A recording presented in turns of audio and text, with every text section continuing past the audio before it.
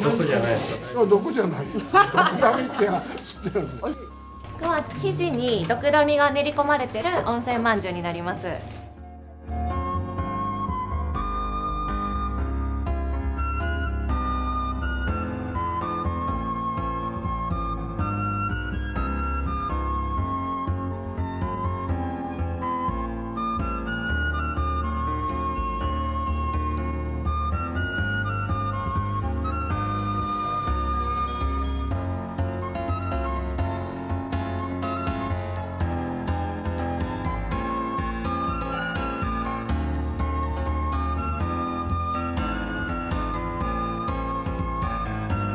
毒ダミの匂いなのかでもほうじ茶っぽくて美味しいです。とっても。